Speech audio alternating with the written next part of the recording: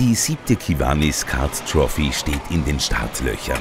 Nach zwei Jahren Corona-bedingter Pause dröhnen am 21. Mai wieder die Kartboliden in der Zehnerkaserne Ried. Was 2014 aus einer Idee heraus entstand, ist heute das Motorsport-Event im Innviertel. Der damalige Präsident ist sehr motorsportaffin und wollte halt einmal ein bisschen was anderes machen als wie ein Konzert oder ein Kabarettabend. Und dann haben wir halt mit sehr viel Engagement das das erste Mal auf die Füße gestellt und ist halt jetzt mittlerweile schon fast traditionell. Die Kart Trophy ist speziell für Vereine und Firmen. Pro Team dürfen nur fünf Fahrer, darunter mindestens eine Frau, an den Start gehen. Los geht die Veranstaltung bereits um 8 Uhr mit der Registrierung und der Sicherheitsunterweisung.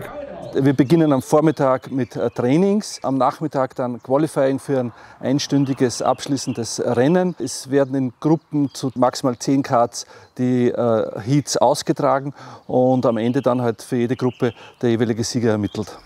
Der beste Ansporn für Fahrer und Teams sind natürlich die Fans.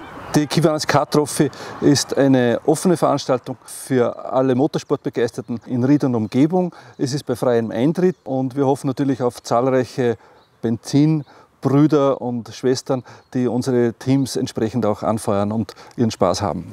Am gesamten Renntag ist wieder für beste Kulinarik gesorgt und es gibt nebenbei auch äh, Vorführungen unserer Gastgeber, äh, der Zehnerkaserne dem Bundesheer. Natürlich ist die Hauptattraktion äh, die Rennstrecke und dort wird entsprechende spannende Unterhaltung geboten. Der Erlös der Veranstaltung kommt auch heuer wieder karitativen Zwecken zugute.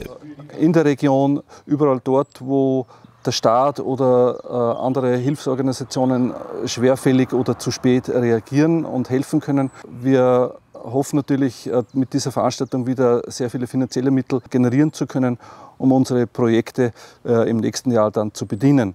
Für Schnellentschlossene sind noch einige Startplätze frei. Anmeldungen sind noch für kurze Zeit möglich. Also trau dich und trete gegen den Titelverteidiger HT1 an und match with the best am 21. Mai in der Zehnerkaserne Ried.